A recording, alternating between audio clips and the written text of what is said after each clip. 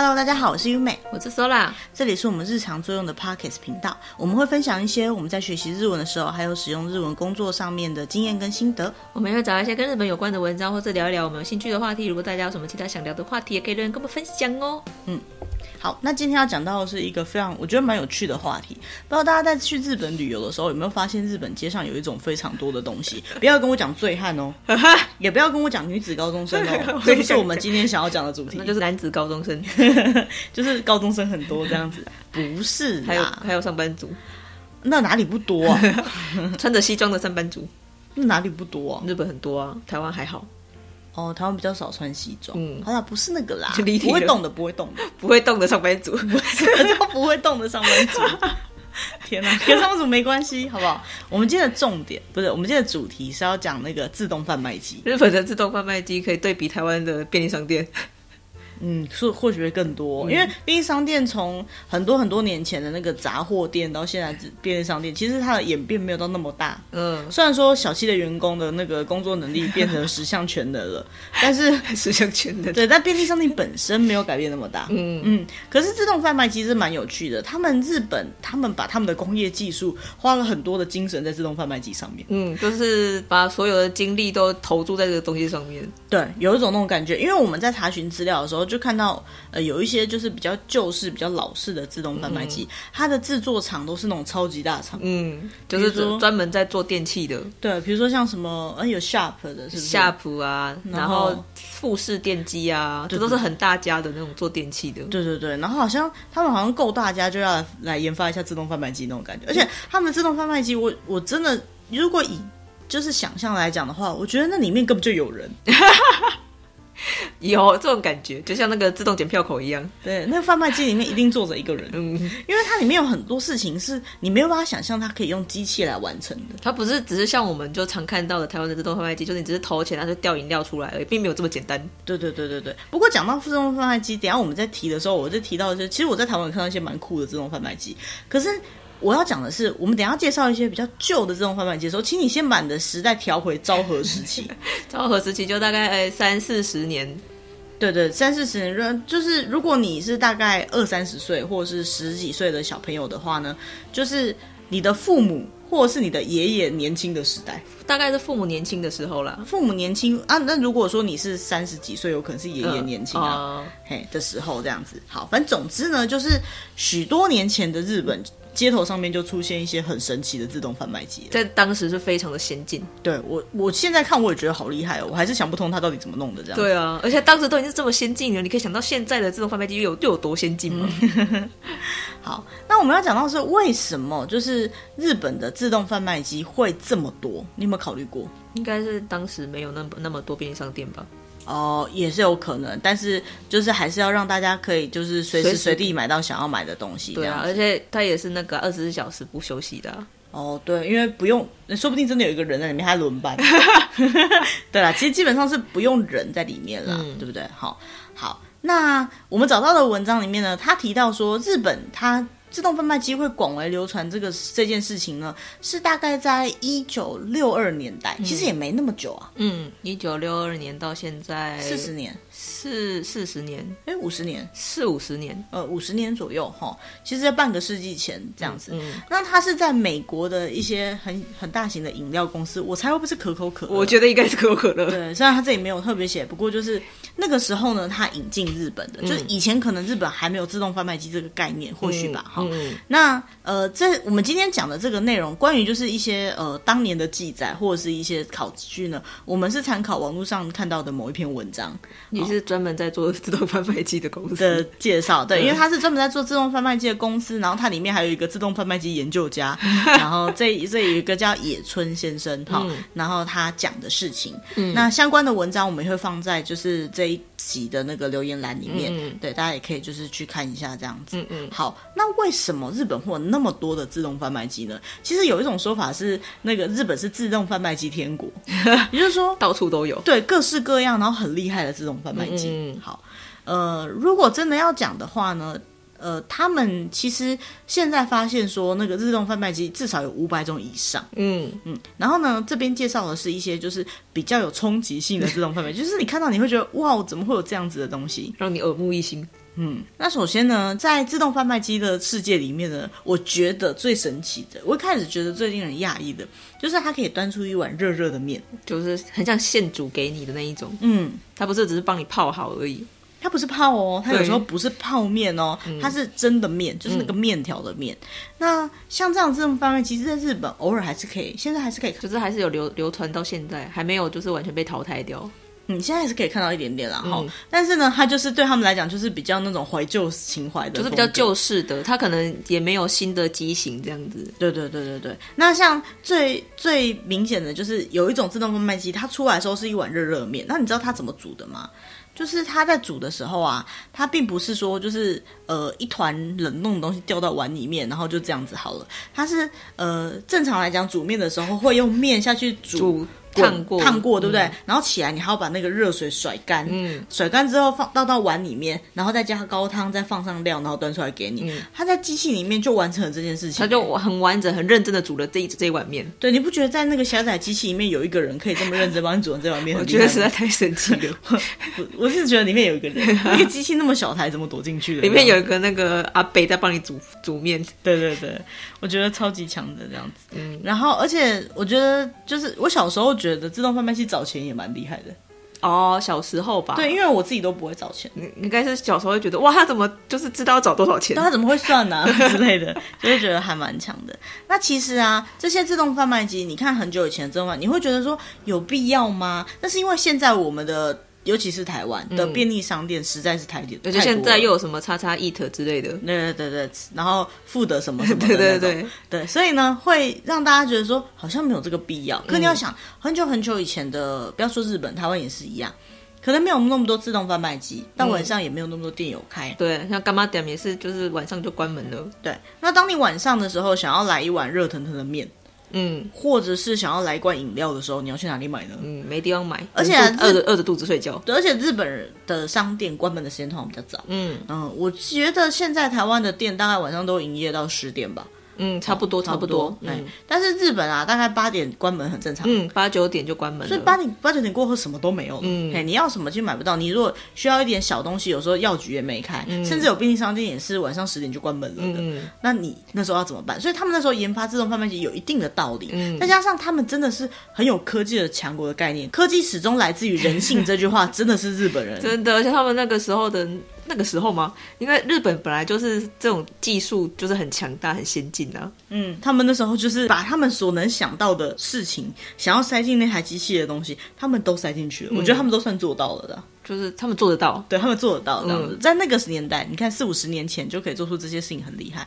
那当然，现在啊已经越来越演变的越来越方便了。比如说，以前可能是投钱的，嗯现在可能是变成对卡刷卡就可以那个电子钱包也可以。对这个机能上的改良，我相信是呃大家可以比较可以理解的。嗯啊比如说以前就是白饮料，现在可能是用看板，甚至还会是动画的。就是那个一金一幕，对，一镜一幕去换的，这个可能是有的。嗯但是我们特别想要介绍的就是那些特别的，就是日本的贩卖机比较旧式的，的，就是在那个年代你还无法想象的。对，没有错。而且呢，自自动贩卖机对于日本人来讲，他们比较有趣的是，但也是有一个话题性啊。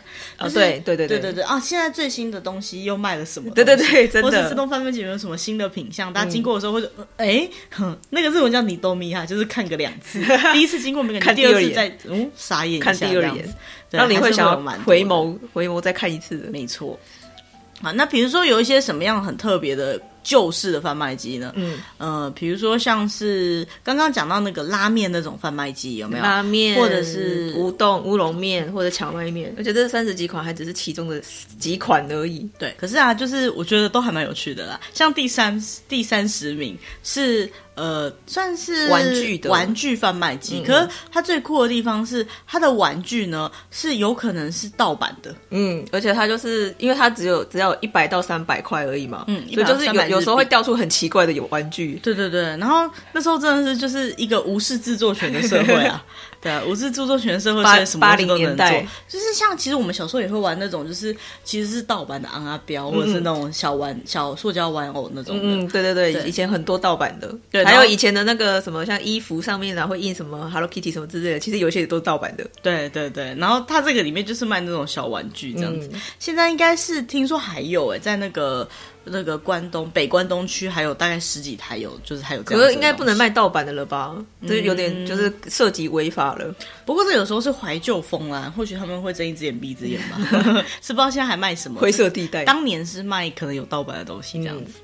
好，然后呢，呃，现在不是有那个一千元的那种随选物贩卖机吗？我不知道你们买过，就是一千块，然后会掉出一个莫名其妙的盒子，然后里面哦可能有好东西有哦烂东西。哦哦，迷盒那一种，，对大概就是这个。的自动贩卖机的演化版吧，我觉得可是这个是看得到的啊，你知道你要买什么东西啊？就是看不到啊，掉出来会哦，什么东西你说玩具的那个吗？对，其实也是盲盒啊。呃，对了，也是以前的盲盒。对对对，原来日本在这么早就有盲盒这东西了。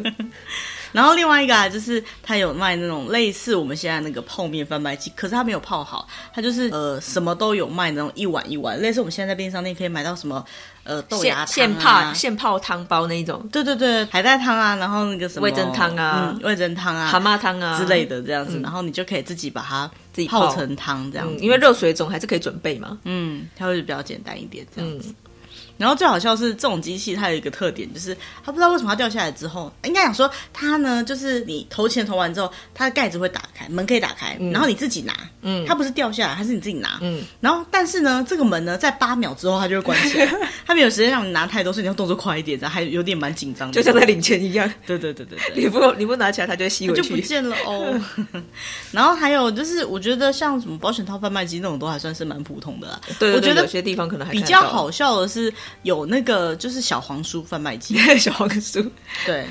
然后他就是说呢，就是小黄书这种东西，有些人就不敢去店里面买，嗯然后就趁夜深人静的时候买。可是没想到按那个小黄书贩卖机的时候，那个会有哔哔声太大声，或是掉下来的声音咔咔的声音，对，就觉得很丢脸这样子。就是还是会被听到。对，可是我觉得现在人好像没这个问题。现在的人就小黄书就随便的摆在书里面，书店里面好像很少人会因为买小黄书觉得好像有点丢脸的。或者是其实你可以上网订，哦，上网订也可以。可是你知道有有那种买上网订那个情趣情趣用品或小黄书，然后就在盒子上面写吗？对那个内容物是什么？超级无敌宇宙尴尬的啊、到底是干耻嘛？哦！所有人都知道你订了小黄书，对啊，然后还有像是比如说口呃手套贩卖机，嗯，嘿，我为什么刚刚讲错？就是因为呃手套贩卖机，就是它其实可能是卖在工地现场附近，嗯，他们施工是一定要戴手套，所以就是可以随便买。但是现在因为疫情的关系，就有口罩贩卖机，嗯，其实。就是那个科技始终来自于人性嘛，你希望到处都可以买得到，可是你总不能一直派一个人在那边卖这个东西给你，嗯所以二十四小时都买得到的就是贩卖机。嗯，那同理可证呢，也有电池贩卖机，超级难想象，因为我们现在就觉得电池就去便便利商商店买就好好了。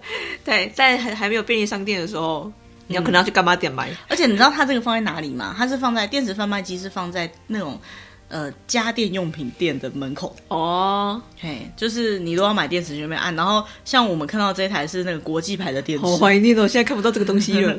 好怀念哦。以前我们家第一台电视就是国际牌的，嗯，干电池贩卖机，那那电视总是电视就不会用这种干电池。我记得小时候这种国际牌的干电池都是用来放遥控器的。哦，对，嗯哼哼，还蛮蛮令人怀念，因为好像比较不会漏那个漏液的样子。哦对对对。然后其他比如说就是泡面贩卖机或是泡饭贩卖机，嗯日本有一种日清的那个泡面呃泡面，它是一样的盒子，但里面是饭，你是放热水下去就会出现类似饭，或者是它不到粥那么浓稠，就是饭。可是我觉得泡面贩卖机或者泡饭贩卖机很好笑，因为它就是帮你倒热水而已啊。可是我觉我觉得蛮厉害的是，你想想看哦，它那个一个盒子是这样放好的，对不对？嗯所以他要把你倒热水之前，他需要先帮你把盖子撕开。虽然说日本的泡面，不知道大家有没有吃过日本泡日本的泡面啊，跟台湾泡面不一样，是台湾的泡面几乎所有的泡面都是面跟料分开的，就一小包啊，一小包。一一小包一小包，就是它的调味包是另外包的。对，但是日本的那个日清系列的泡面，他们基本上面跟料是放在一起的。嗯，你打开直接。泡就好了。对，你就是打开加热水，然后就可以吃了。嗯，然后它这个泡饭贩卖机，我觉得厉害的地方是，你看它虽然说打开就可以直接吃，可是它还是要把你盖 把盖子撕开。然后再倒热水。对我刚刚在跟苏老讨论，因为它这个上面有那个示意图，嗯然后我就想说，如果这个贩卖机它我们有时候自己撕盖子，不是也会撕失败吗？对啊撕不比如说开撕掉一条，或者是没有全部撕开，但是机器也不知道它撕开了没有吧？应该 我不知道它有没有监监测，应该没有，对，监测 A 拉的状况这样。那没有的话，他就很开心的还是继续倒热水，所以你就会拿到一碗就是上面湿湿的、热热热热烫烫的但是没有任何水进去你的料的热的泡面，不知道会不会有这种状况，就是。应该比较少啦，他们出厂前应该测试过很多次了。对，我想看他们会做这种泡面贩卖机，成功率应该是良率应该是挺高的。对，就觉得这个还蛮厉害的。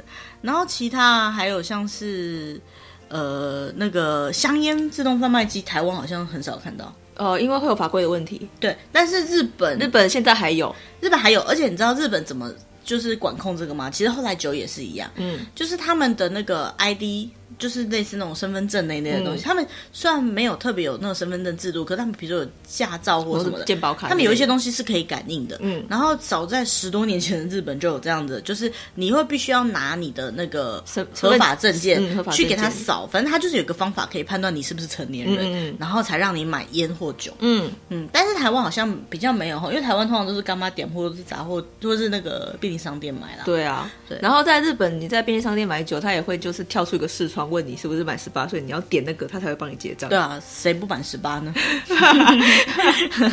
你上网看到你满十八岁了没有？你一定是点有的啊，对不对？但是这个机器真的骗不了，我印象很深刻，因为我当年在日本的不懂事时候，对，因为我会喝一点酒嘛，哦啊，有时候晚上就是要走到便利商店或者走到超市有点远，而且超市很快就关门了，很早就关门。那我住的地方附近就有一台那个有两三台那个卖啤酒的贩卖机，嗯。那时候我记得好像朝日啊那些都有卖这样。我每次经过我都觉得很想买，就有一天晚上我就真的很想买，我就走路出去，然后就走到那贩卖机前面试图要买的时候，发现他要我感应个什么卡，嗯，可是我也没有驾照，也没有什么，我好像我在日本唯一有效证件应该是我的那个在留证。居留证，居留证，嗯。对，就是因为我是留学生嘛，所以我拿到留学签，然啊，我有居留证。啊，那一张卡好像不能证明什么，因为他好像对那张卡没有反应，嗯，对，然后我就看到那张机器就觉得好难过，明明啤酒在我眼前，我却买不到它这样子。嗯。对，所以它还是有一些反犯机制存在。虽然当年我已经满十八了啦，对啊，对啊，但是就是没有他们所谓的那种有效证件。对，没错。然后呢，其他像是刚刚有讲到，就是那个那个泡面机嘛，哈，然后它就呃最前面的提到，就是那个面它是可以就是现煮。现煮给你的，它那个面条都不是那种很卷很卷的那种泡面哦，而且它不是冷冻面，最厉害的是它是生面。他说是生面，对，然后生面它现煮完还会在那边切搭，切切搭是什么？哦，就沥干，沥干。然后再加了汤，加了料再出来。我觉得很猛的看起来真的蛮厉害的。我觉得很猛的是，有的还有上面还有天妇罗，对对对对对啊！它天妇罗它可能是一块完整的，放下去它才开始稍微变软，所以你如果赶快吃的话，还是还脆脆脆的对，然后其他像是可能会有那个便当，而且那便当厉害的是呢，它那个便当上来，它并不是我们有看到这里面有两种机器，有一种机器是。便当一盒就是饭一盒，然后料一盒，嗯调理包一盒，调理包帮你加热好了，嗯那你自己要把那个便当的盖子打开，把调理包倒进去这样吃。嗯这我觉得好像可以理解，而且就是加热调理包做嘛，就是嗯加热调理包而已。另外一种更强的是，它出来已经是一盘的咖喱饭了，嗯，你倒好了那，个咖喱是准确的倒在饭上面，而且没有，而且它不是直接倒在饭上面，它还帮你分了一半。对对对，就是倒了一半的咖喱，你还可以看到有点白饭的部分，嗯就是刚好到一半，就算了，旁边还有放姜哦。真的很厉害，对里面真的有做一个小老头吧？我觉得。对，我觉得里面应该是有人吧，好辛苦哦，二十四小时都要坐在里面。好，然后其他的呢，就是像是比如说呃洋芋片的贩卖机，而且这洋芋片贩卖机只卖一种口味。对，只卖一种口味的洋芋片，对，这到底是什么东西？专啊门那一家的洋芋片你有。看过？你有在那个电影院里面看过那个棒棒糖贩卖机吗？哦，好像有，可现在好像没有了欸，以前比较有。你知道那棒棒糖贩卖机它有点赌博性质吗？哦，我不知道，没买过。就是你投进去，理论上投假设投十块是一根的话，它会有一个灯跳跳跳跳跳，哦然后如果中的话会掉两根或掉三根这样子。哦，那以前好像蛮多，现在好像比较少了。对，现在蛮少的。然后还有像其实日本的贩卖机也是一样，他们那个饮料机啊，有那会个抽奖，有抽奖，的，有那个那个什么兑奖，就是他会跑一跑跑一跑，说你中奖了，然后再来一罐他就是再掉一罐这样子。对，那个那个机制也很好。我以前去的时候还有，现在去好像很少看到那个东西。现在就是比较先进一点，不是只是那个对跑跑跑跑跑跑跑跑的那一种。那我要讲，我曾经就是为了想要中那个奖，连投了三瓶，三瓶的几率有点低耶，然后不是啊，然后都没中。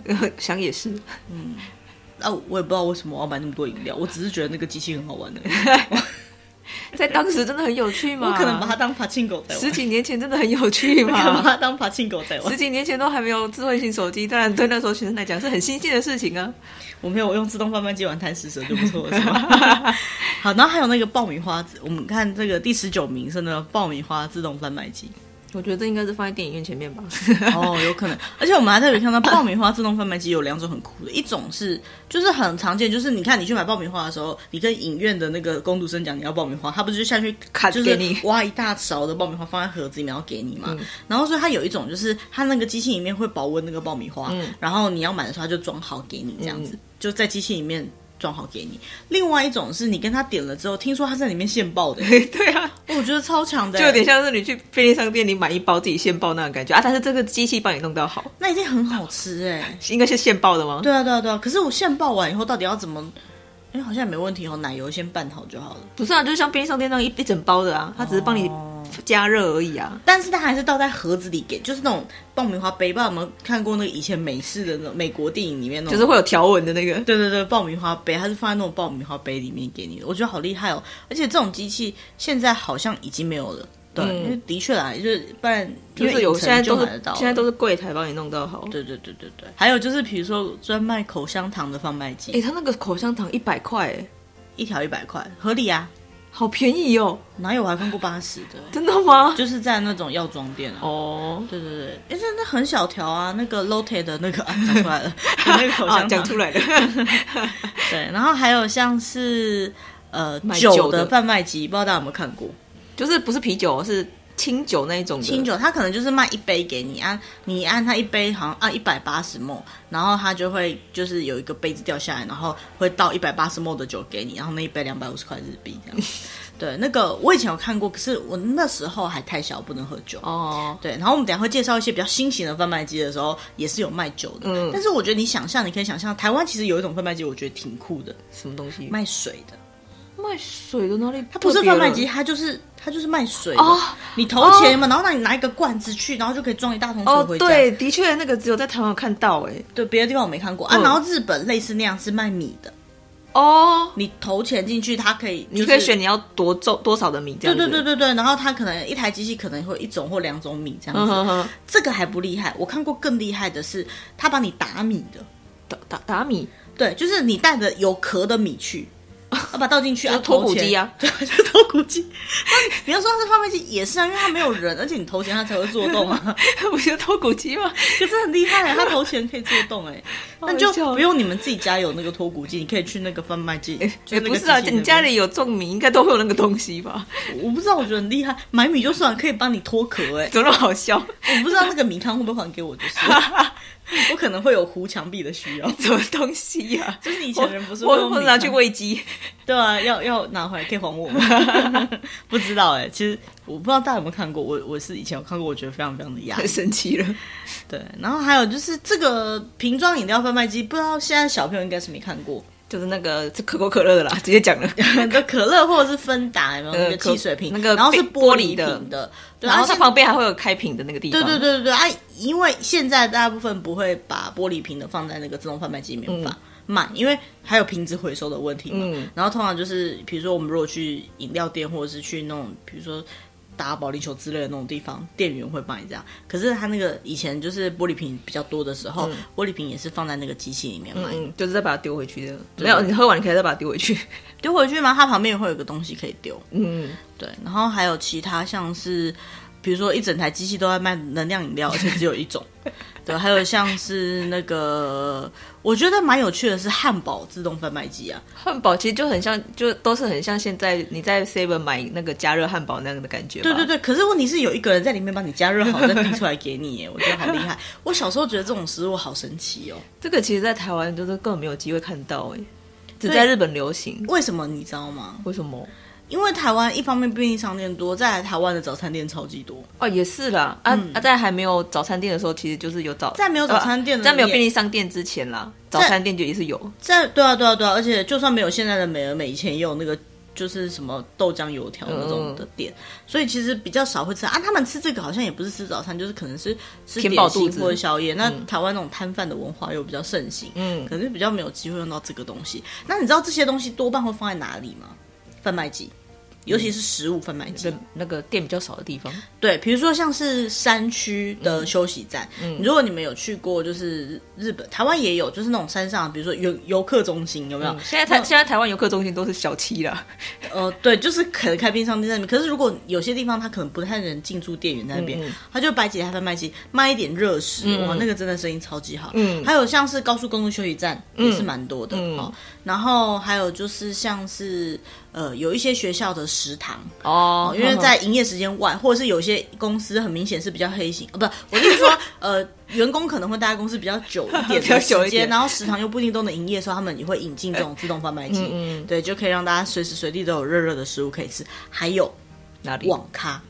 哎，是哦，以前的网咖没有公餐的时候，食物是从自动贩卖机来的。哎，所以啊，其实你如果要吃热腾腾的咖喱饭或者是面的时候，你是自己去按机器来的。哦，是哦，因为因为不可能每个网咖都备有厨房，然后员工 二十四小时，因为网咖通常是开二十四小时的。对对。然后员工不可能常有时间那边整天那边煮饭给你吃。我还以为像台湾的卡拉 OK，那你可以随点随随到什么的。这这就是很累啊，那个员工要做到很晚啊，他就有 last order 的时间了嘛。对，可是放在网咖那种地。方你就是随时你要出吃就自己出去按一按，跟你要去买一杯咖，再买那个咖啡机的咖啡是一样的意思。对，其实很常是放在卡网咖的。嗯，对。然后还有呢，像是呃，比如说那个这个，我觉得主要是对那个烤吐司机，烤吐司机很厉害哦，它真的会有那个烤吐司的那个焦焦的，然后中间我不知道夹什么，反正就是那个吐司的自动饭。那现在不是小七也有那个帮你烤加热吐。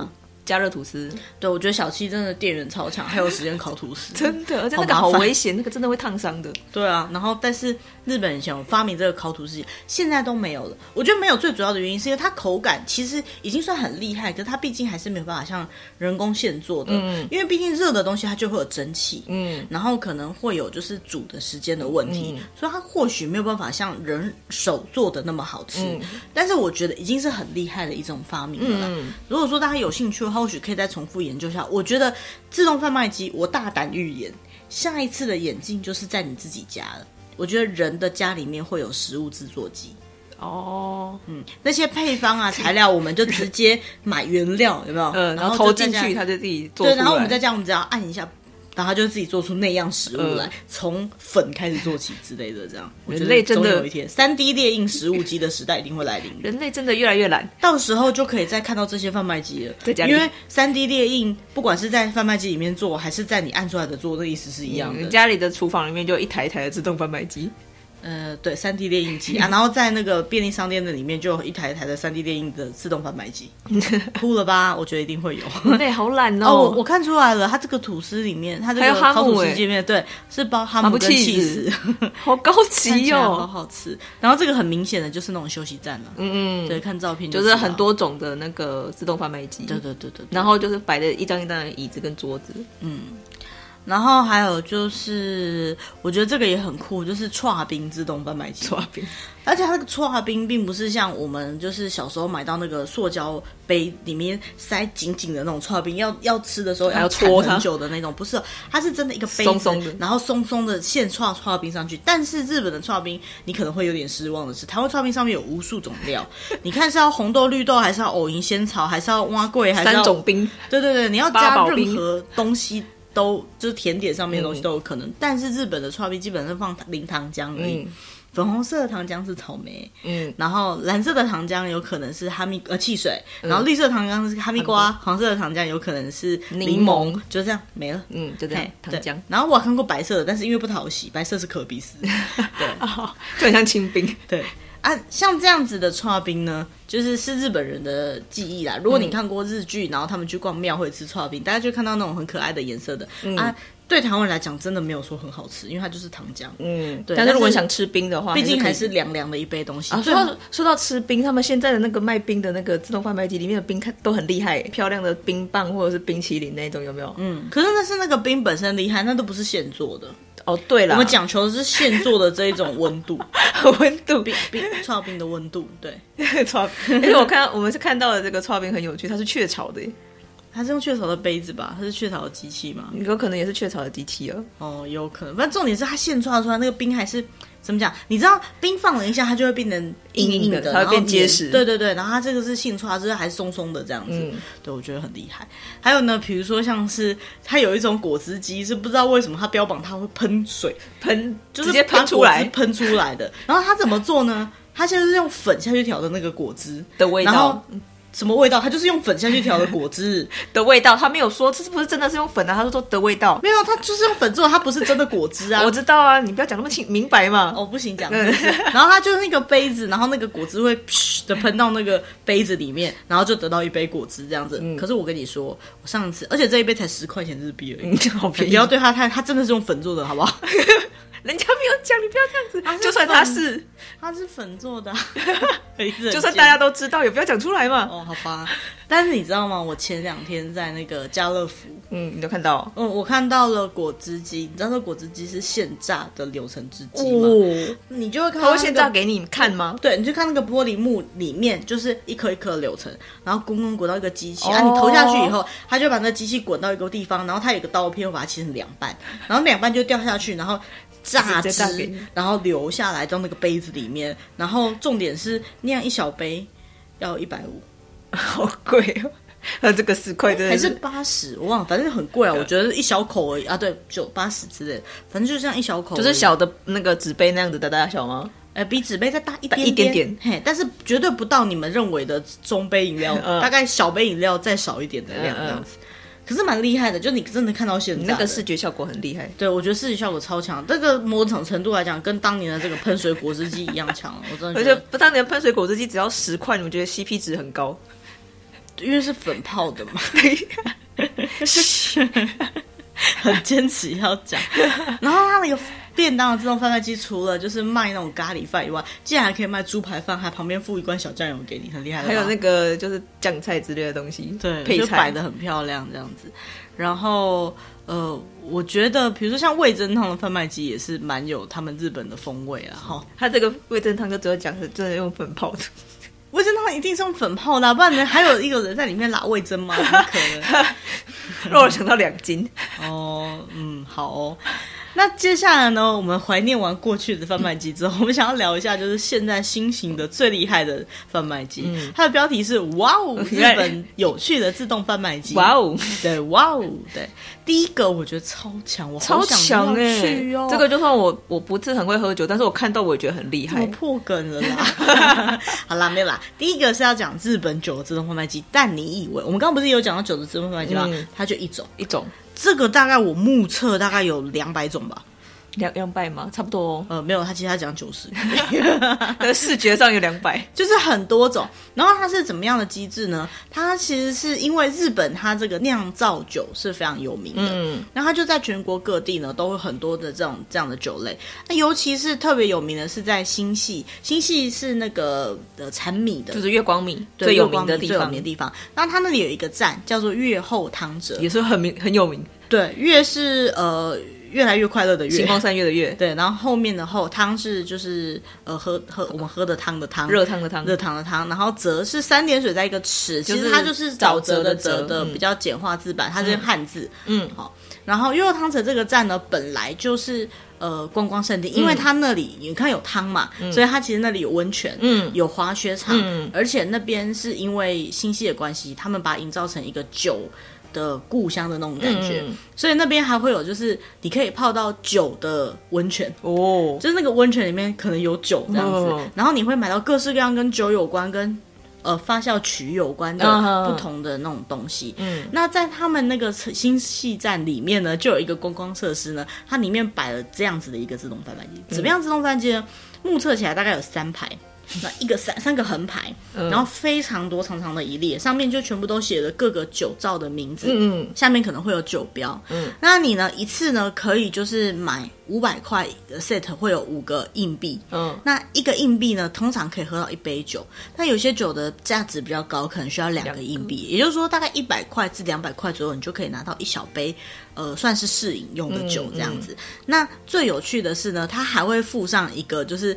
呃，可以让你喝一杯酒的一个杯子，小酒杯，小酒杯，对，然后呢，你就可以去品尝不同的酒，嗯嘿，因为通常来讲，我们的一瓶酒那么大一杯，除非公那个有开试饮给你，不然你很难去感受到不同酒之间的差异。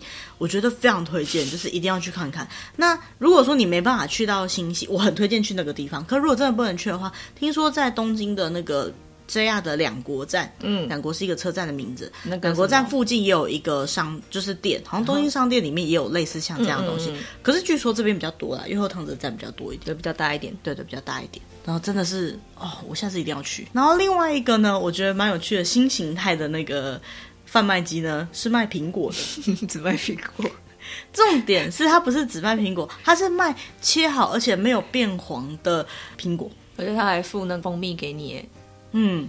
然后，而且它每一袋它都是切好，然后你就直接拿起来就可以吃，大概是切成一颗苹果，大概切成四片左右，嗯然后也有剥皮跟不剥皮两个选择，一份大概是两百块日币左右。有些呢附上蜂蜜，你也可以自己加上去，或者是其有可能会有其他的水果，但就看状况。嗯，那目前好像在日本只有在羽田机场、伊丹机场，嗯还有东京的池袋站跟银座站，还有大阪的阪急梅田站有看到。其实我自己是没有看过这台机器啦，可是我觉得卖苹果好酷哦。而且如果你看到，你会去买吗？我不会啊，因为我。嗯，我不会特别想要 吃苹果吃苹果，就是平时平常也会吃水果，所以不会特别想去贩卖机买。可是你像你如果自己住外面，又不用切，你就可以马上买一下。有些人就可能就会有些人早餐或午餐可能就是一颗苹果，你不觉得超方便吗？而且也不太贵啦，嗯，还算还好。而且重点它都把你切好，你都不用沾手，打开就可以吃了。对啊，很方便诶。嗯，这很方便哎、就是台湾可以发明一下。而且我觉得最厉害的是。它不会变色哎、我很怕看到苹果变黄那种感觉。可是其实它不影不影响您的营养程度啊，然后它也不会响口感你新鲜。变黄以后，它有时候就会有一点那种发酵味出来。对啊，但是就是放它真的放很久的话啦，对了，真的放了一阵子了，但问题是就是它不会影响你的身体啊什么之类的。它不要放太久，不要让它坏掉，其实都还是可以吃的状态。而且你知道我们这这边的介绍，它有特别讲到说呢，它为什么可以防变色，是因为他们使用维他命 C 去做防变色的处理。哦而且重点是这一袋苹果可以放十一天呢，可能要冰吧，我觉得，因为那个机器应该本身是有冰。也是啦，它不算是，它是放维他命 C，维他命 C 其实也是一种防腐剂对，了，外面本身就是一个防腐剂，而且你还可以摄取到维他命 C，对啊很爽吧？天然的防腐剂好。棒哦，好想吃吃看哦。嗯，好吧，如果真的看到就吃吃看吧，真有机会。他还帮你切好下一个我觉得真的是一个陷阱题，要小心。对，下一个呢是呃高汤贩卖机。高汤贩卖机，大家可能会想到一包一包的吧？对，但是它是用保特瓶装，有点像是我们那个装酱油，可是它不是欧干呐，它不是黑罐子，它是它是保特瓶透明的保特瓶，有点像是那个装那个那个料理酒那种感觉。呃，对对红标米酒那种对对对，，重点是那个罐子里面，你还可以看到里面有一根昆布跟一只鱼鱼竿竿插在里面 我。觉得很好笑。然后啊，它上面就会写说啊，这个里面有放鱼竿跟昆布，然后它就是卖那个高汤的，它就是已经帮你熬好的高汤，就是连那个还插在里面给你这样子。然后味道听说是很好喝，而且就是很有。不是很好喝啦，就是味道很棒，然后就跟料理很适合，也适合拿来做火锅。嗯一罐大概是七百块左右，看五百沫七百块，对，看东西可能有点不一样，然后是酱油 base 的高汤。我为什么说它是陷阱题呢？因为它摆的那个样子，完完全全就是一个瓶装饮料自动贩卖机的的那个样子。然后虽然说它上面也画了鱼啦，可是它的那个达西两个字是写平假名。然后虽然旁边有写“酱”两个字，可是懂中文的人呢，或许可能不会乱买，但不懂不懂中文中文的外国错了人，。万一把这个拿来喝一口，不知道会有多压抑。他说：“这什么饮料？敢不敢细？敢不对，懂就？是又咸，然后又干又甜美这样子。没想到觉得还不错喝哎，然后就把它喝完了。不行，那洗肾的。嗯，不知道，说不定不咸呢。他如果没有加盐，不会咸啊。没有，可是他单鱼干、鱼干跟昆布、哦啊，它虽然有酱油 base，可是我应该还好啦，但也不会拿来喝。我觉得很厉害、欸，如果看到想买，而且你知道它摆在哪里吗？我觉得这一定很好吃。它只有在全国各地的那个三井、里帕库这样子的停车场前面 才会摆这样的机器，好厉害！我好想看看哦，好想买哦。我觉得煮拿来煮汤一定很好吃。对，可是它有放鱼缸，我们好像不能买回来哈。哦，对啊，这可能就没办法带回来了。对，看照片真的是蛮奇妙的，残念里面真的会有鱼鱼在里面这样子。嗯，对，然后还有呢，像是呃。呃，咖喱，但是我们刚刚前面不是讲说昭和时期卖的咖喱是帮你淋好的嘛？它这个咖喱就是标准的咖喱包，就是真的还还放在盒子里面那种一盒的咖喱包，然后就是你回去要自己加热吃的，然后价格大概从三百到七百块左右。那大家就说，哎，那这个我就去便利商店买就好了。我后来理解到，它这个东西的重点在于。它是全国各地的特殊当地口味的咖喱，有可能是当地限定的，也就是说你去便利商店不见买得到。对，你通常应该没有办法买这样子。而且如果你这一个品相没有，它下一次再换上又不一定同一个品相。嗯，所以你是咖喱狂的话，你可以把所有的咖咖喱包都吃过一次，然后等到它换了以后再吃一次，这样子 就会有不同的。我现在看到里面有十八禁诶，怎么有十八禁？你不知道十八禁咖喱吗？哦，呃，我知道，我知道，很辣很辣的那个咖喱。对啊，就是真的还还有柠檬的哎。对啊，你要吃，你会想吃柠檬咖喱吗？不会。等一下，那你在高兴什么？我只是觉得很神奇，有这样的口味啊。嗯，好哦，就是各式各样的咖喱包啦。如果说有机会去日本旅游，然后你是住那个 Airbnb 或什么，你有厨房可以加热，对，可以买看看。可是不是那么容易发现哦。如果真的要找的话，它在浅草。嗯，但是你也可以买回来啊，那个是可以带回来的。哎，不行哦，里面有猪肉成分都不行哦。哦，自己要注意啊。如果是鸡肉就可以啊。其其实也尽量小心啦，就是看到时候的法规啦，因为毕竟我觉得还是要尊重。没有，其实有一些里面根本就没有肉，那你也不确定啊，所以你要先看清楚啊。当时台湾的那个猪肉禁止输入的时候，是只要有猪肉成分，包括猪肉粉都不行哦。对，猪油也不行，自己要小心这样子。好，然后还有一个我觉得也是蛮厉害的，叫做印章自动贩卖机。印章哎，这个在台湾。不可能有啦，因为台湾到处都是印章店。也是啊，但是在日本就是印章，你有大家应该有看到，就是有一种印章是那种放在架上，它可以转转转，就像我们去那个旅游观光区会看到那个硬币，自己啊硬币没有，是自己的名字的那种吊饰有没有？然后你不是可以转转转去找嘛？啊，日本也有那种转转转，在大概文具店门口，然后会上面有他们各式各样日本型，比如说山下根本啊、加藤啊、佐藤之类的这样。这个自动贩卖机厉害的是现磕，对它现磕给你，它只要五分钟就可以照你的需求帮你磕喽。一颗只要五百块。有的人会想到，嗯，台台湾的印章店不也是这样吗？台湾有现磕吗？有，也是五分钟就好了。好像没有到五分钟那么快啦，但是也是可以当天拿。好像我们公司订印章都要给我两三天呢，我下次就去印章店磕算了。好，然后反正它最有趣的是，因为像欧美社会啊，他们通常习惯用。呃，签名的就 sign，嗯，但是日本人蛮喜欢用印章，他们有一个印章文化，所以蛮喜欢。他们规定就是要有对，所以所以说他们的必需品是印章这东西。那如果你今天真的要去办什么东西，你又临时手上没有印章，他们又没有那么多刻印店的时候怎么办呢？然后你的信又超超特别的，就是那个转转转的那个上面找不到你名字的时候，就可以到这个地方去。自己现刻一个印章，定制，而且这印章呢，你是你就是可以直接打字嘛，然后你还可以选择你要用什么材质去刻，比如说像台湾可能就会什么象牙、牛角啊什么之类的，虽然那个可能不一定合法，然后或者是木头做的啊，然后塑胶做的之类的，对，但是呢，你还可以选它的那个字体。字体什么的，然后都选完，甚至你可以打英文。然后你也可以打那个罗马拼音之类的，就是你高兴怎么打就怎么打。反正你打完，它只要能够对应的字，它就会现刻立刻给你。嗯，所以如果你有看到这样的机器，你也甚至可以刻一个就是自己的纪念做你纪念的。对对对。那你要去哪里找到这个机器呢？请在他们日本全国各地有名的 唐吉诃德有就看到过。嘿，唐吉诃德就有这样机，我不知道台湾唐吉诃德有没有，可能没有，我不知道，我没有机会去，所以不太确定这样子。反正唐吉诃德就有这样子的机器。嗯。对，然后以上呢，就是我们刚刚看完那个怀旧的机器以后，就发现日本其实有很多新潮的机器，就是又更新的。对啊，对啊，你有你有在台湾看过什么很神奇、很厉害的这种贩卖机吗？好像没有，除了你刚说的那个水，那个是只有台湾才看得到的那个。水还有果汁啊，刚那个现榨果汁，那个我还没遇到啊。然后你你你可以想象，应该也会有现榨甘蔗机吧？还有还有还有现切凤梨机。我觉得现榨甘蔗机最厉害，要从削甘蔗开始。哦，削甘蔗好强哦。对，因为先削就氧化了哦。对啊，而且我每次看到那个在削甘蔗的那个人，好都好觉得他好厉害哦，好是很利落。对啊，然后你想看在贩卖机这么小的空间里面，他要站在里面削，真的是很困难。而且甘蔗这么长，我一直觉得贩卖机里面有人，我到现在都这么觉得。像精灵。还有什么很厉那害的自动看东西都贩卖机啊？台湾比较少，那你有没有想要希望有什么自动贩卖机？希望有什么自动贩卖机，可是好像都还好喂。因为现在真的太方便了。你对啊。对对？嗯，哎、但是我我之前有在日本有看到比较特别的，就是还有那个卖西衬衫的西装。西装的自动贩卖机、哦，衬衫的，好酷、哦，还有领带的，然后还有袜子。领带可以理解。嗯。啊，袜子我好像有看过。然后还有我还有看过卖鲜花的，哎鲜花啊，嗯，就是一根一根的那种。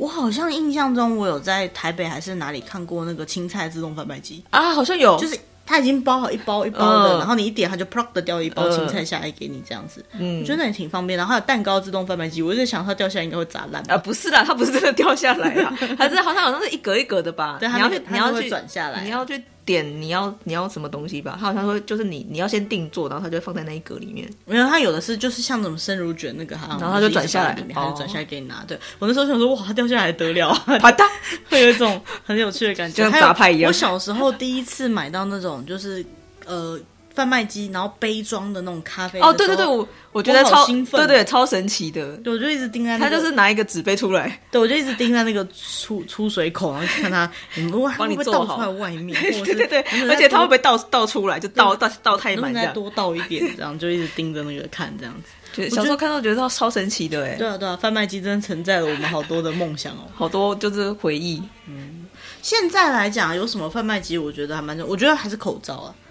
口罩贩卖机，对，口罩啊，贩卖机、那是因为现在的必需品呢。对啊，我觉得慢慢这会变成一个习惯，然后在一些必要的地方，我觉得都应该要有口罩贩卖机。嗯那也没什么困难的啊，你就是摆一个机器卖口罩而已啊。困难的问题是成本啊。你说不值得那个成本？对，啊，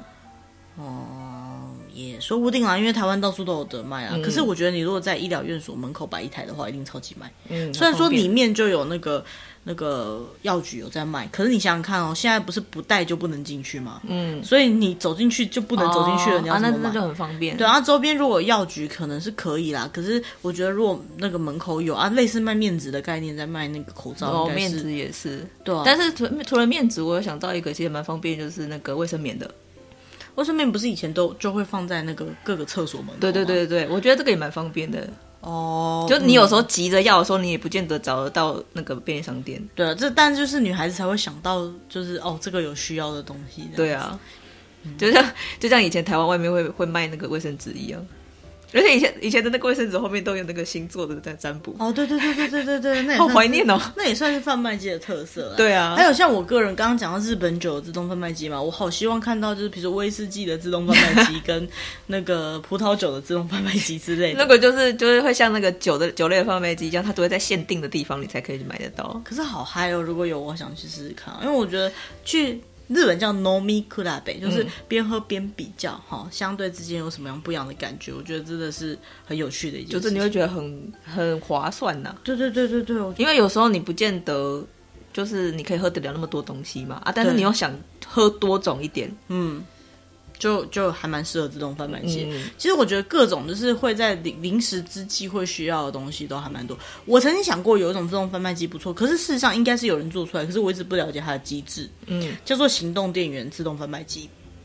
行动电源但是它有点像是 iRent 的概念，就是它并不是卖那个行动电源给你，它是你在紧急的时候，对，你可以去那个好像有贩卖机，对你就抽出来就可以用，嗯然后你抽完以后就把它塞塞进去。我忘记在哪个点国家真的有哎、其实台湾好像也有，嗯。然后日本也有，可是我不太知道它怎么用，因为我现在跟你拿了，我不知道它我下一个点要还到哪里去。可那就像 WiFi 机一样啊，哦，也可能，或是假假地借以地还，你就是要找到它的下一个点，然后去那附近还这样子。嗯对，我觉得这个是对现在的人来讲，手机不很需要，对，还蛮重要的。嗯。嗯，其实我觉得贩卖机就是真的是一个人性的考验啊，就是大家都需要，但是却没有办法雇一个专员在那边，而且在接下来这种自动化的时代，应该是越来越多。嗯，但是又很奇怪的是，有些贩卖机就越来越不见了，可能是因为运输的这成本考量，我还是觉得是成本考量啦。对对对，变变得越来越方便了这样子。不过我上次也听过有一种说法，就是现在的人之所以生活会那么便利，是因为我们的运输成本相对低，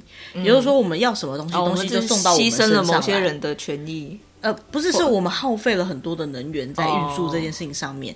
但是如果以后就是呃运输变得越来越贵，比如说石油变贵了，嗯，好，或者是我们的替代能源没有开发的很好的情况下，其实事实上来讲，东西应该是要用更简单的方式存在在你身边，而不是送到你身边。对了，对了，因为毕竟外送的确是一个市场，一个很发达的东西，可是。呃，总是要有人可以送啊。当人不能送的时候，该怎么办呢？或许我们又回到以前，必须要考量说你身边对有没有办法取得这个东西的时候，那可能又会有自动各种各样不同自动贩卖机。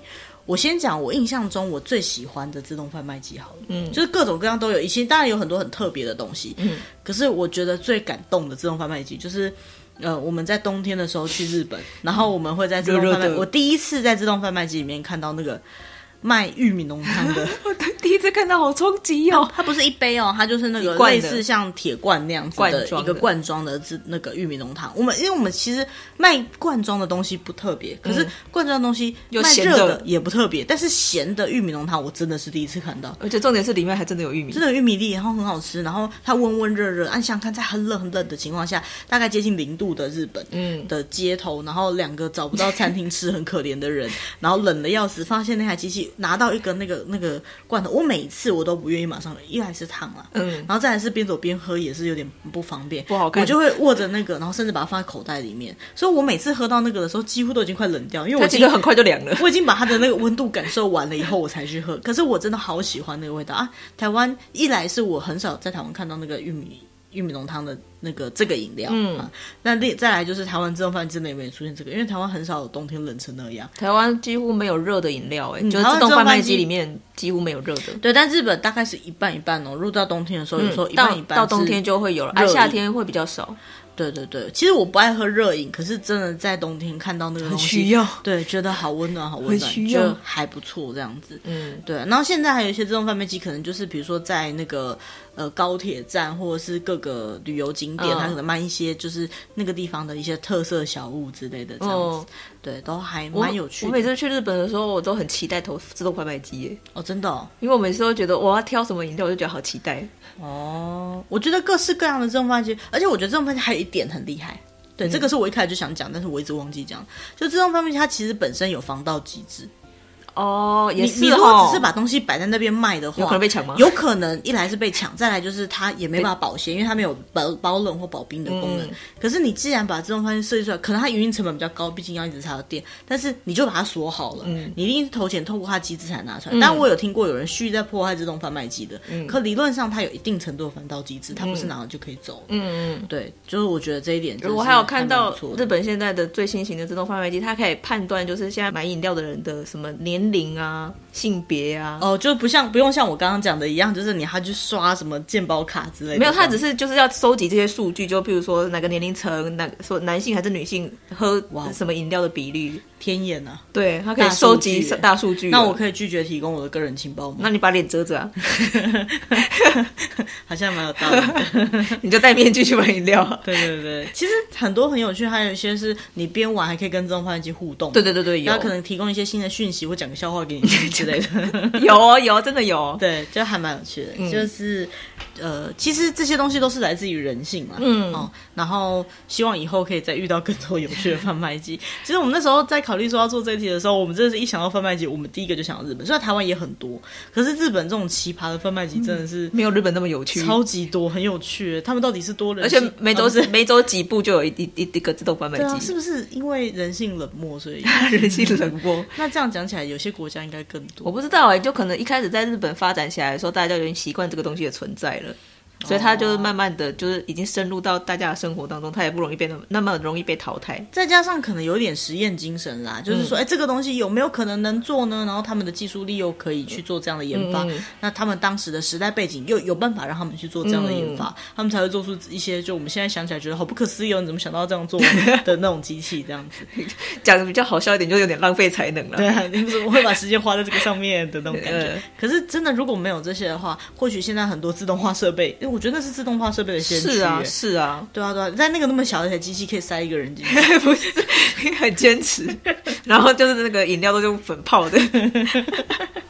好啦，那我们今天的主题大概到这里了。哈。嗯那今天的主题是稍微跟日本的一些小文化跟小趣事有关系的、的内容。那我们今天的主题大概就到这边，我们会尽量在定期上传一些新的集数，然后找一些像这样蛮有趣啊、有用的话题这样子。那如果你喜欢我们的主题，也欢迎按赞、订阅或分享哦。嗯，谢谢大家，拜拜。拜拜。